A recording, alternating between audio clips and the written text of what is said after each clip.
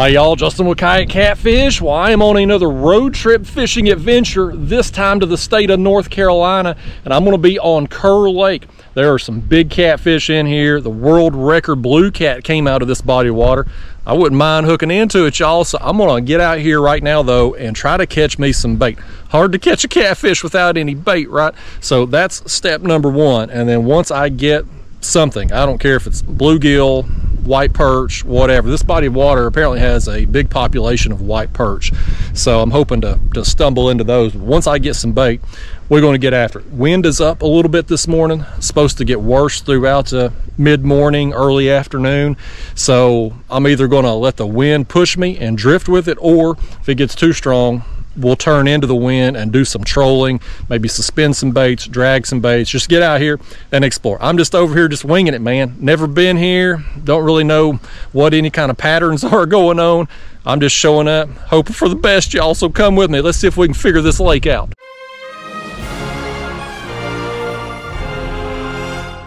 So I come across the channel from the boat ramp here, just try to get in this little pocket here out of the wind. And I got the LiveScope here with me on the kayak and I'll, well, let me turn this transducer around, maybe you can see something. Up under this dock here, there is all kinds of something. I don't know what those are, but we're about to throw in there and find out. Got one right there. Let's see what this is. Bluegill. All right, I'll take it. That's what we need, y'all. Just anything to bait a hook with just to get us started once we get out there and start trolling around looking for cats, we will hopefully come across some schools of white perch out there too, and I'll just drop down on top of them as we move along. That bluegill, man, he's jumping around. He's excited about being on this video. Here's another one of his friends too that's pretty pumped up and ready to get up here and get to it. What do you think about it, bluegill? I've made this bluegill's dreams come true. He never thought I'd be over here in North Carolina on Kerr Lake, and here I am. Making bluegill dreams come true. It's what I do, folks. I'm like the bluegill make-a-wish.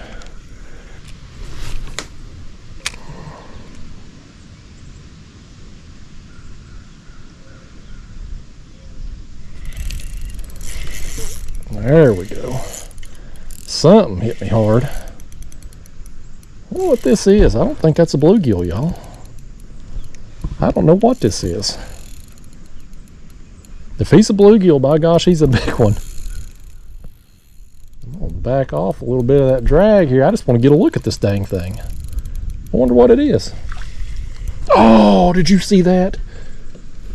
Oh my gosh, I had a bass that had that bluegill, man.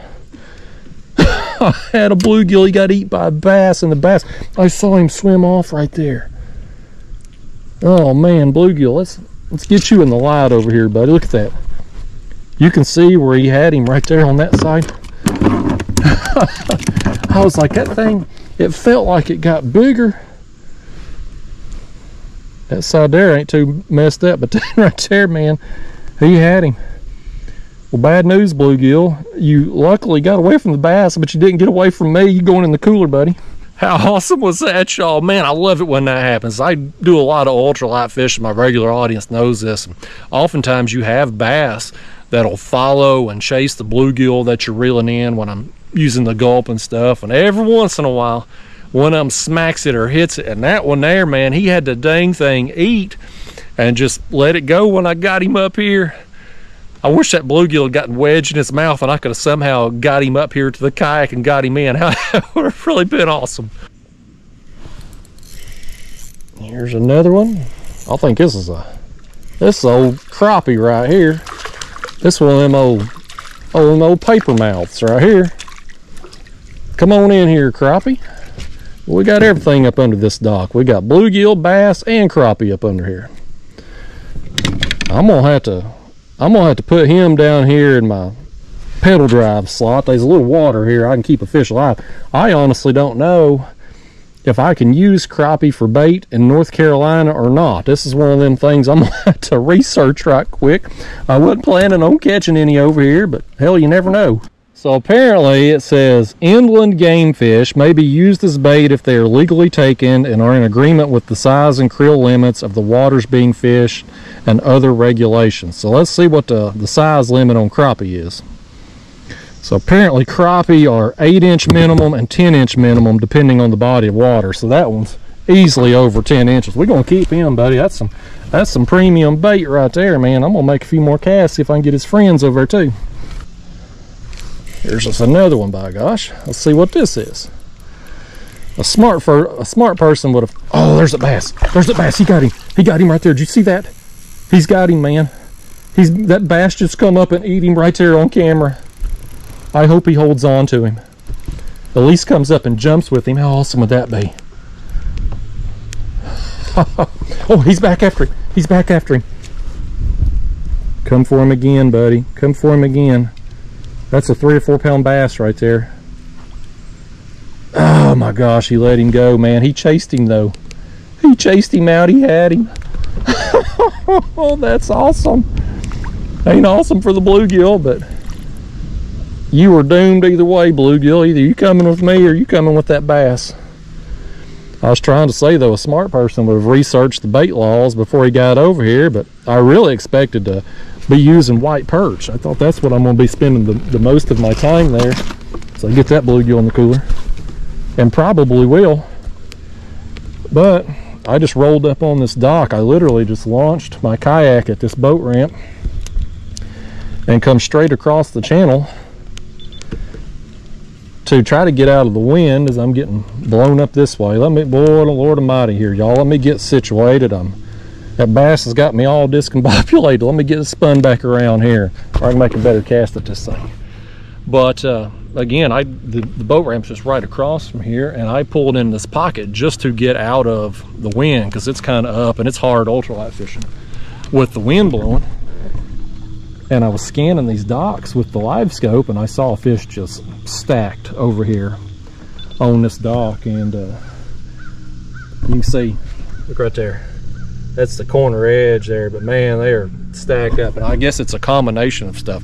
Obviously bluegill crappie bass they all right here. So uh, i saw those and i'm like well that's easy bait right there whatever they are. So anyway let me quit flapping my gums and see if we can hook another bluegill and get a bass to gobble him up.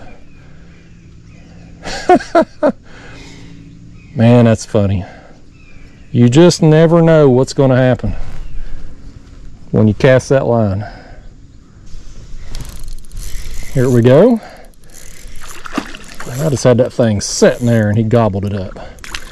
Here's another crappie that I am sure is going to keep for us.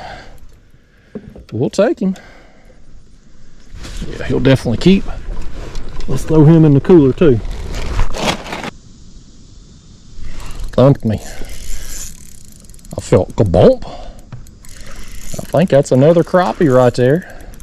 Man, this dock is stacked, buddy.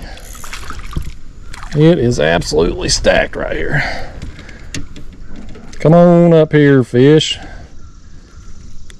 It's another one there. Easily going to be keeper size, and he's coming with us. I got something else right there. If this is a crappie, bluegill.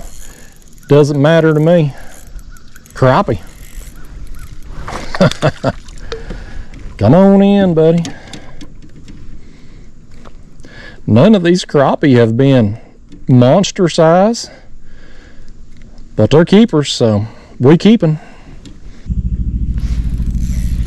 Now there's something right here. Let's see what this is. I think this in here will probably whatever it is, probably going to do it for us. Oh, that's another crappie. Come on up here, crappie. We got us plenty of bait now between the crappie and the bluegill. We got plenty enough to get started with out here today. And again, at some point, I think we're probably going to run into some white perch and we'll stock up on those when we do. All right, y'all, I am stocked up on bait and headed out to do some catfishing what a relief it is man i tell you as a catfisherman you show up to a new body of water you've never been to before you got zero bait with you it's a little bit stressful. You know, it's a little bit of a burden to get out and go find some fish that you can put on a hook to try to catch a catfish with. And so to get that part of my session done so quickly, it's pretty awesome. Big relief off my shoulders. And, and worst case scenario, well, best and worst case is we get out here, we catch a bunch of catfish, we burn through all my bait. Well, I can run back, right back over here and catch some more. So uh, we're in a good situation out here, y'all. So now all we gotta do is find the cats. Step one, catch the bait. Step two, catch the cats. So I'm gonna go out here. The wind is blowing this direction. So I'm gonna make a run out here and turn around and come into the wind and just kind of follow the contours. I'm gonna troll, try to keep my speed between 0.3 and 0.5. I'm gonna drag two baits off the back of the kayak and suspend two off the front. And we'll just cover some water out here this morning and see what we can run into. I think we got action here. We do, buddy. I see that rod moving. Let's get him. This is on one of my dragging rigs here. Got a piece of bluegill. This is a chunk. I got a bluegill head dragging and a chunk dragging here. Real shallow right now, 10 feet. I've actually got my suspended lines raised up out of the water because I come over this little shallow stretch. And this one here just took off, man. First catfish on the Kerr Lake adventure. He ain't gonna measure up to that world record, but by gosh, it's a start. Boy, he's wound up, ain't he? That's a nice fun sizer. Oh, lordy, calm it down, fish. This fish just can't believe I'm in North Carolina, y'all. He's so excited, thrashing around, can't contain himself. Well, let's hold him up there, y'all. Fish number one, or catfish number one anyway. I ate him a chunk of bluegill I was dragging along. Real shallow here, 10 foot. I've actually, well, as I reeled him in, I've dropped off here to like 20 feet deep. But uh, yeah, no skunk today, y'all. Again, it's, you go somewhere new, that's one of the things you got to worry about. So got that out of the way, but I'll show you here as my phone blows up. Disregard my phone dinging. I know half of you just looked down at your phone right now when you heard that, thinking it was yours. That's what I do if I'm watching a video. Somebody's phone dings on it, I think it's mine. But anyway, let me take the camera here and show you. There's a hump right here. And the wind the wind ain't my friend out here today, y'all. It's kind of going this way and this way. And I'm just trying my dangest to, to go into it so I don't get all cattywampus. And kayaks get blown around real easy. So I'm, I'm trying to just stay straight into the wind best I can. So I come to this side of the channel and I just drug right over this hump here.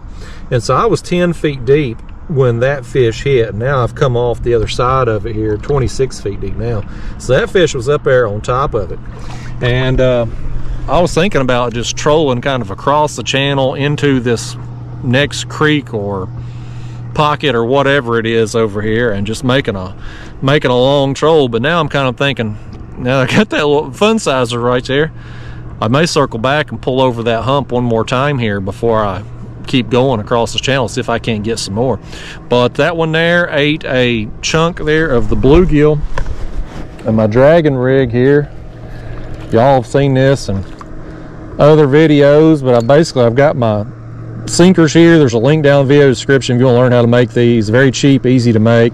Got that on a three-way down to a, a leader here, float, rattle, 10 aught size circle hook, and I was pulling that along not very far behind me, maybe 30 yards at the most there, kind of a, a short line out. And, and uh, we done got us one, y'all. So skunks out. Let's see if we can get another one now and keep this momentum going. Well, something's going on right there. What is that? What is that? Is that something got my line? That was a dang, I don't even know what that was, but it just ripped me off my line. I don't even know what that was. Something had gotten my bait, y'all. Something had gotten my bait and come all the way up to the surface with it. I didn't know till I saw my rod bounce a little bit. And I looked back and he was thrashing around there. I almost looked like a gar. My bait had been pulled all the way up to the surface. I'm 27 feet deep here right now. How odd is that, man? Crazy things happening out here, y'all. So I have covered a good stretch of water now. I don't know if you can see over here behind me, but I started over there on that shoreline and have just come across the channel and kind of working my way back down into this pocket here and just haven't really got anything going on. I got that catfish over there shallow on top of that hump and hooked something out here in the middle of the channel. I initially thought it was a gar. I couldn't get a look at it. It was a longer fish, but the more I thought about it, I was like, you know, I wonder if that wasn't a striper because they have striped bass here in Kerr Lake. And back home, oftentimes when I catch them accidentally while catfishing, they will hit the bait and come straight up to the surface. And so I'm, I'm wondering if that's why I hooked out there. But either way, I lost it and it's not the target species today. So what I am doing for the target species of catfish, I ain't getting it done. So I think what I'm gonna do is reel up and run farther back in here to this pocket to, to get shallower. Since that one bite I had was 10 feet deep, I'd like to maybe get about 15 feet deep back in here and work my way back shallower from there and see if there's anything going on in the shallows because it for sure ain't happening out here. I mean, I'm not seeing anything here on the graph. It's like the dang Dead Sea here.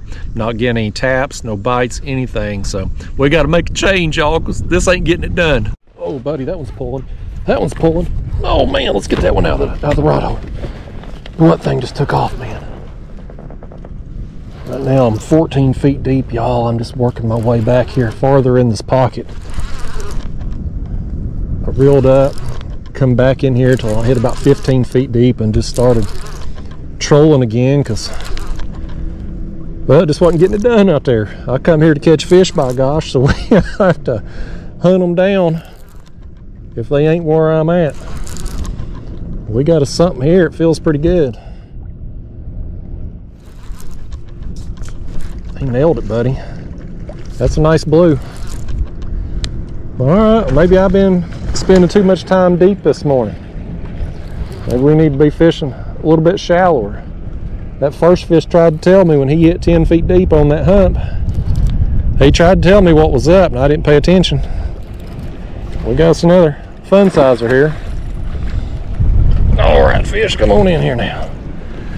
All right, that's another one on a bluegill chunk right there. Bluegill chunk getting it done. The head baits, not so much. Grab our fish here and hold him up. Another fun sizer right there, man. He nailed that rod. I tell you, when you don't have a lot of line out and you're in this shallow water, but they nail it and go. That's one they're it's a welcome sight, man. Where you been, fish? You been just swimming in this shallow water waiting on me? You got any friends there? He ain't gonna tell me. Don't worry, fish. I'll find them my damn self. Get out of here. There you go. All right, well, let's stick us another piece of bluegill on there. That bluegill's getting it done, so I'm gonna stick with it. Not my favorite bait, but over here, who knows? It may work better than what it does back home. It's certainly getting them today.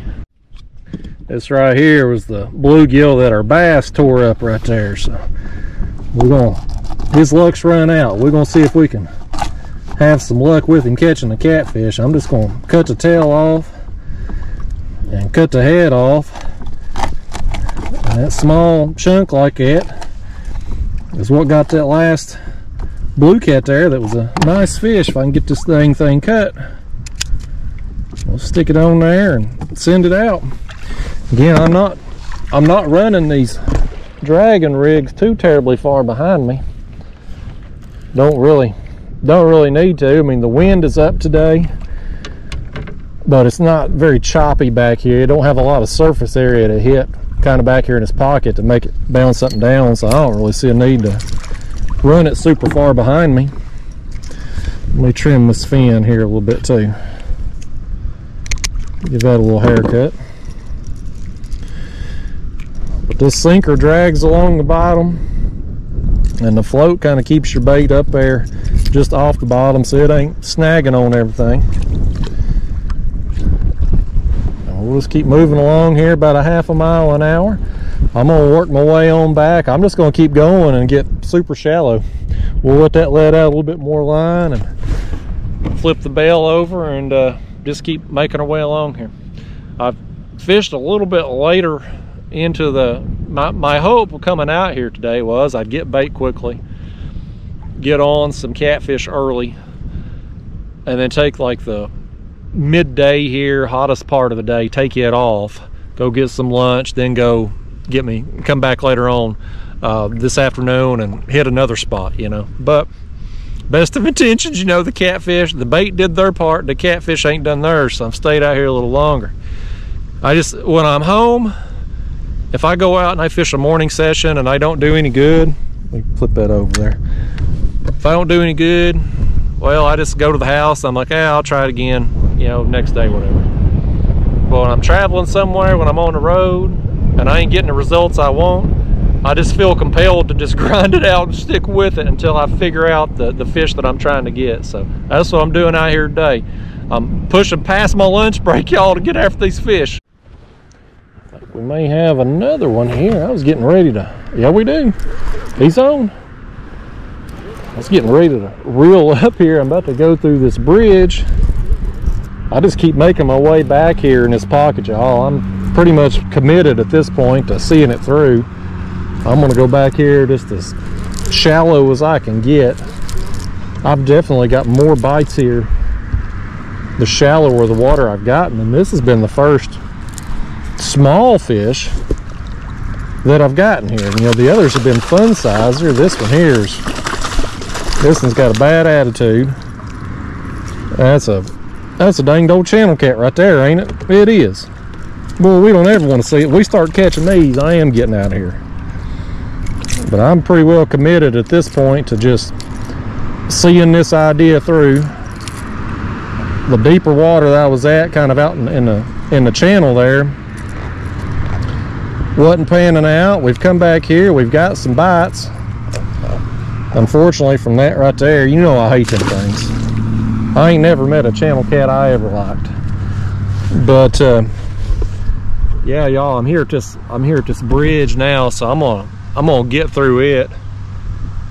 And again, it opens up back here, at least on the map anyway, and and is uh, just continuing on working shallower and shallower back through there. So we'll see. There's either gonna be something back there or they ain't. So I've worked my way back in this pocket beyond the bridge here and on the map card, it's showing that the depth's around 10 feet deep here, but in reality, it's only like six feet here where I'm at. So I think I've come back in here about as far as I'm gonna go. So what I'm gonna do is I'm gonna reel up again, go back out to about the 10 foot depth and then start trolling my way back out because that seems to be that 10 to 15 foot depth has been where the fish have come from. The limited bites we've had, that's where they've come from. So that's what I'm to focus on for the rest of my time here today.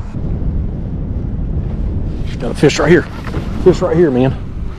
Oh, he's to pull now. He's to pull.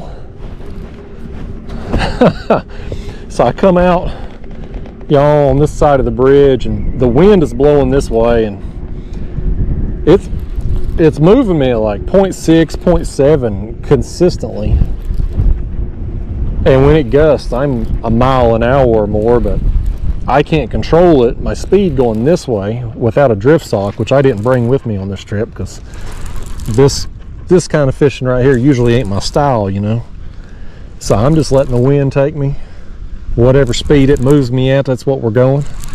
But by gosh we got another one here. This one's on a head bait. Another one dragging. Yeah, another another fun sizer right there. Oh, Lord, don't do that, fish. Oh, boy, he's he's thrown the head bait off doing all that. Every fish we've got so far has been dragging. The suspended baits, they ain't been they ain't been touched, they ain't been pecked, nothing. I mean, just nothing. And I don't know if it's because fish just aren't wanting a suspended bait today. You know, I have been fishing kind of shallow, especially back here. Um, or it could just be, oh, quit fish. Lord, I'm soaking wet now.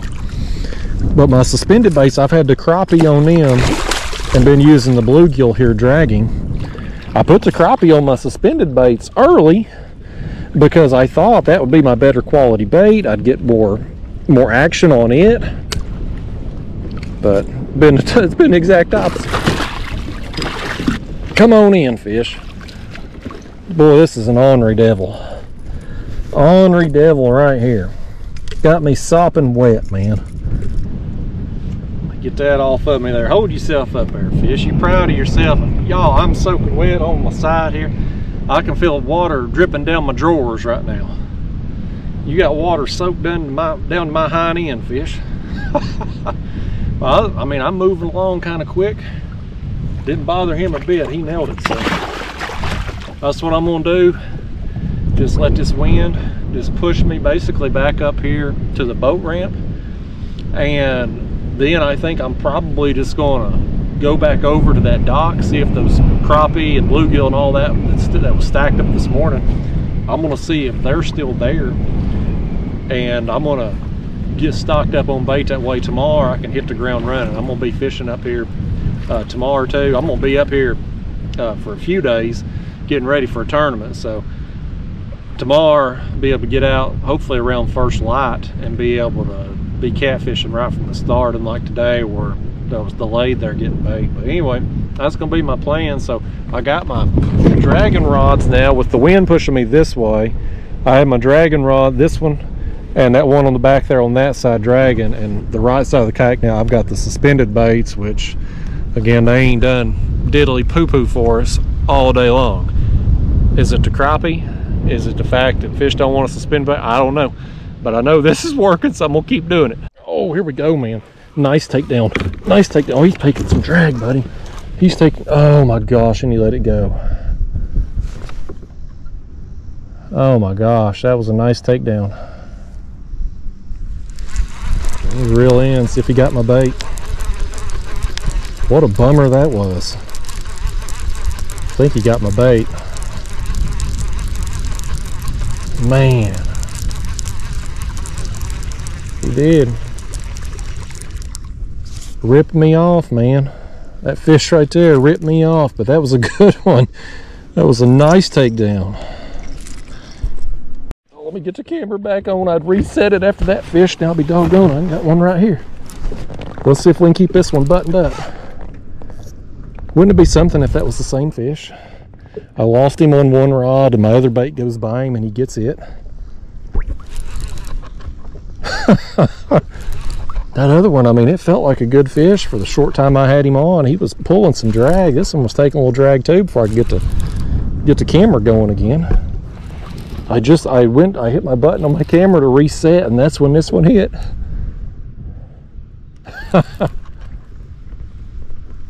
yeah folks this kind of this kind of fishing here shallow water just kind of free drifting with the wind not my style i'm more of a deep water, follow the contours kind of guy. But out here today with the area I'm at on the lake, the fish seem to be shallow and I'm just trying to adapt and grind and since I started doing that, by gosh, it's paid off. We've got several more fish here than what I was getting out there in the deeper water, which was zero. So glad I switched things up. I think this is going to be a decent fish right here. He feels good. I wonder if this wasn't the same one. Oh man, he's going under the kayak now. He still ain't come up. Hope he don't get up there by my motor. Oh crap, I'm gonna turn my motor off because he's got my front my front line up there, my suspended line. Of course that fish did. of course he did. Oh, come on up, fish. Let's just get a look at you. I see the bubbles. Hell, I'm only 14 feet deep here. It can't be. He can't be that far away from me. I just want to get a look at him, see what we're dealing with here. Yeah, nice, nice fish. Nice fish right there. That's the biggest one of the of the trip so far. Nice, man. Now he's got my he's got my other front line. He's got the stinger in the back from my suspended bait up here that he got in. Come on up here, fish. This is a tank right here, man. That's a good one. Oh, yeah. Oh, man. This one right here is fist pump worthy, y'all. This is more of what I come to Kerr Lake for right here. Let me hold him up there. Nice, man. Nice. That's a whopper right there, man. Whoo! Ain't it funny the timing? Of, it? oh man, he's mad. You calm it down now, fish. You're gonna act like somebody here on video now. We ain't doing that. But the timing of it, we lost that other fish. And a few seconds go by and boom, this rod goes down. I wonder, you know, maybe I, I, I was fighting that fish briefly. He come off and he just happened to be swimming toward my other bait and there's another easy meal and he takes who knows? Or this fish just could maybe had a friend and I just come through him and nice man. This makes me happy y'all. This makes the grind worthwhile. All right buddy. Let's let you go man. I got your friends to catch down there. All right fish. Let's say goodbye. You go Oh man, that's awesome, y'all. That one there, fist pump worthy for sure, man. I'll tell you what I'm gonna do. Um, I'm gonna reel up these suspended lines because they ain't, again, they ain't nothing touching them things, man. And them fish there, I had to have come right over the top of them. I had to have, you know, because I mean, my lines were over here beside me, so they had access to them suspended baits. They don't give a crap about them. I'm gonna reel them up, get them out of the way. I'm gonna make another run down here because I don't have any dragging baits in right now. We'll rebait and we'll pull through that area again where, where we had those two bites and see if there's any more or not. And then if they are great, if not, well, we'll just keep making our way on out of this pocket. But you know, the wind had me moving right there when those fish hit. I mean, it's, I'm spot locked right now as I film this little segment, but I mean, I was moving along I'm not under like 0.6 miles an hour at any point, and when it gusts, I'm a mile, a little over a mile an hour. So the fish that are here, they seem to be aggressive. So um, glad I decided to grind it out in this area, man. All right, guys, well, it is well past my lunchtime, and this old boy right here is hungry. So I'm gonna go restock on some bluegill heck with the crappie, man. I was so excited this morning. I got them crappie and found out there that they legal to use in North Carolina just as long as you keep them whole. You know, I thought I'll cut some slits in them things, fillet aside. We'll have a big premium bait down there. And yet it's the dang bluegill. I hate using bluegill at home. It doesn't do anything for me at home, just dinks, you know. But man, it's got it done out here today and small bluegill at that. So I'm gonna go get me some more of them before I head out and then I'm gonna go get me a bite to eat and plan on hitting it again tomorrow. I'm gonna go somewhere different on the lake tomorrow. I'm gonna, even though I've been on a shallow water bite today, I just can't help myself. I'm gonna go hit an area that's a lot deeper tomorrow and at least try it out. And if I'm getting bit there, well, awesome. If not, well, then I'll get back on this shallow water bite uh, somewhere up there. But anyway, it's been fun, man. It started out super slow until I listened to the fish and did what they wanted me to do. And then we've got on some fish and got rewarded with a big one too. And I've said it so many times. Any day I go home, well, in this case, go back to the hotel where having caught a big fish, it's a good day, y'all. So I'm having a good time up here in Kerr Lake so far. Hope to keep it going the rest of the week. See you in the next video.